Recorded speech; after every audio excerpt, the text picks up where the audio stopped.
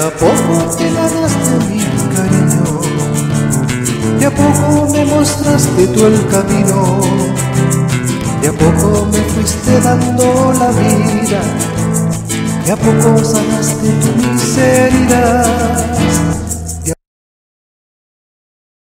Vamos, vamos, vamos, vamos avanzando. Eso, ya cinco días de este mes, del cuarto mes, cinco del cuarto. Eso es el caminar, el caminar y caminando a este encuentro ya con el día del amor, del verdadero amor que vamos a tener en esta semana, ese Viernes Santo, el día del amor, del amor verdadero. Y vamos a ver hoy día la palabra que nos dice, esa palabra maravillosa del Señor que nos guía y que antes de entregar su vida tiene esos encuentros con este Pedro. y vamos a ver qué pasa con tanto amor que dijo. Y en Marcos 14, negación de Pedro. Aquí ya no tenemos nada más que hacer que leer y que nos enseñe esta, esta palabra del Señor. Mientras Pedro se estaba abajo en el patio, llegó una criada. Al ver a Pedro calentándose, le dijo, también tú andabas con el Jesús de Nazaret. Pedro lo negó diciendo, no sé ni entiendo de qué me hablas. Salió a la puerta de la casa y cantó un gallo. Pedro lo negó de nuevo. Poco después también otros dijeron a Pedro, no hay duda, tú eres uno de ellos. Él comenzó a maldecir y a jurar, yo no conozco a ese hombre de que me habla. Enseguida cantó galla por segunda vez y Pedro se acordó de lo que le había dicho Jesús. Antes de que el gallo cante dos veces, tú me habrás negado tres. Y se puso a llorar. Palabra del Señor. Ese Pedro eufórico, no Señor, yo, yo, yo te defiendo, yo doy mi vida, no te voy a negar, no te voy a dejar nunca.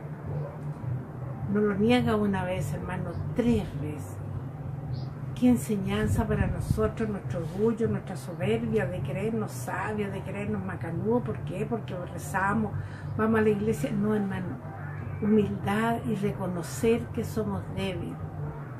Y pedirle al Señor que me ayude, que me fortalezca el Espíritu Santo para poder yo hoy día, más que nunca, defender ese testimonio del amor, esos valores que hoy día están siendo pisoteados y muchas veces nosotros frente a nosotros miramos, movemos la cabeza, levantamos los hombros, igual que Pedro. No lo negamos con nuestra boca, pero sí con nuestras acciones. Así que pidámosle al Señor que me ayude y me perdone igual como perdonó a Pedro y como fue después, a nuestro primer papa. Así que no tengamos miedo, no nos desesperemos si nos caemos nos podemos levantar con qué? Con la ayuda del Señor.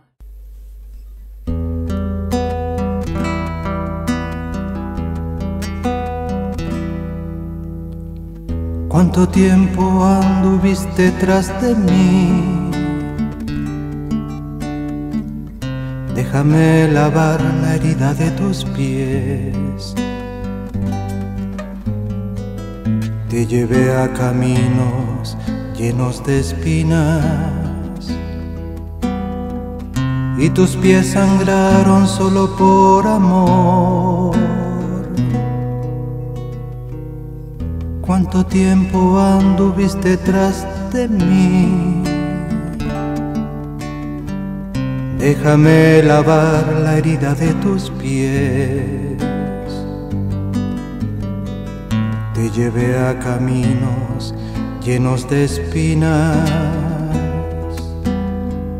y tus pies sangraron solo por amor.